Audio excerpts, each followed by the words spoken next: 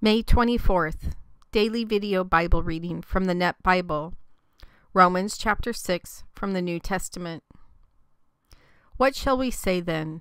Are we to remain in sin so that grace may increase? Absolutely not. How can we who died to sin still live in it? Or do you not know that as many as were baptized into Christ Jesus were baptized into his death? Therefore, we have been buried with him through baptism into death, in order that just as Christ was raised from the dead through the glory of the Father, so we too may live a new life. For if we have become united with him in the likeness of his death, we will certainly also be united in the likeness of his resurrection. We know that our old man was crucified with him so that the body of sin would no longer dominate us so that we would no longer be enslaved to sin. For someone who has died has been freed from sin. Now, if we died with Christ, we believe that we will also live with him. We know that since Christ has been raised from the dead, he is never going to die again. Death no longer has mastery over him. For the death he died, he died to sin once for all, but the life he lives, he lives to God. So you too consider yourselves dead to sin, but alive to God in Christ Jesus. Therefore, do not let sin reign in your mortal body, so that you obey its desires. And do not present your members to sin as instruments to be used for unrighteousness, but present yourselves to God as those who are alive from the dead, and your members to God as instruments to be used for righteousness. For sin will have no mastery over you because you are not under law, but under grace. What then? Shall we sin because we are not under law, but under grace? Absolutely not. Do you not know that if you present yourselves as obedient slaves, you are slaves of the one you obey, either of sin resulting in death, or obedience resulting in righteousness? But thanks be to God that though you were slaves to sin, you obeyed from the heart that pattern of teaching you were entrusted to. And having been freed from sin, you became enslaved to righteousness. I am speaking in human terms because of the weakness of your flesh.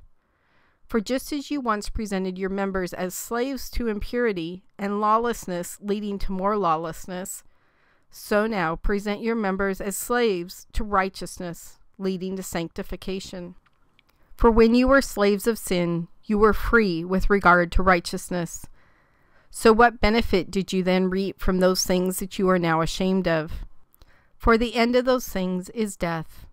But now, freed from sin and enslaved to God, you have your benefit leading to sanctification, and the end is eternal life. For the payoff of sin is death, but the gift of God is eternal life in Christ Jesus our Lord.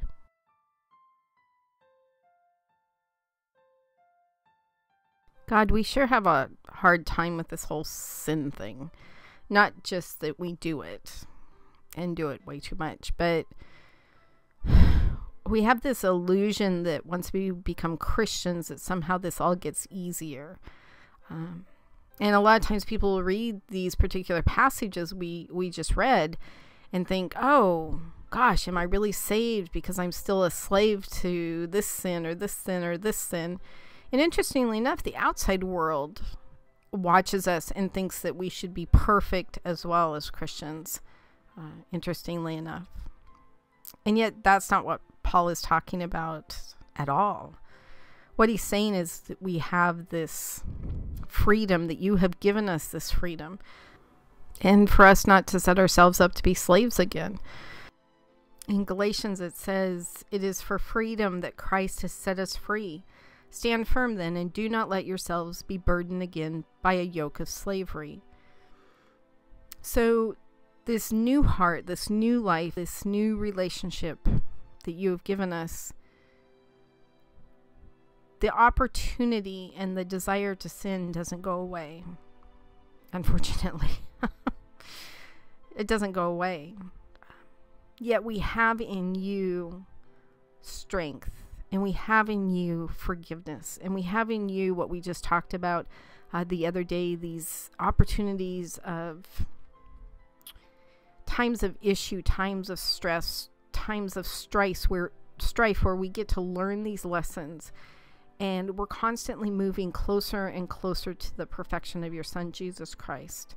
Um, we're far from it as of today uh, but each of these situations we're constantly wanting our heart is wanting to work closer and closer to what that relationship looks like um, it was interesting because before when when I would still say I was a Christian, I uh, that's a whole other point to argue, but um, I seemed to have sought out sin. Couldn't wait to find something, even though I still find sin. Um, it seems that I have all these other reasons and emotions and tools for dealing with sin in my life than I did before. Uh, I would like to say it's a completely different mindset, but that's not accurate because it's not coming from me. I say it's a completely different heart set. Uh, that I want to act differently. I want to do things differently. I want to see things differently. I want to interact with other people differently. And God, I know that, that, that all of that freedom has come from you. So, God, I pray today that we keep out of enslavement now that you've given us this amazing freedom and that we continue to focus on you and your incredible grace that we just love learning more and more about.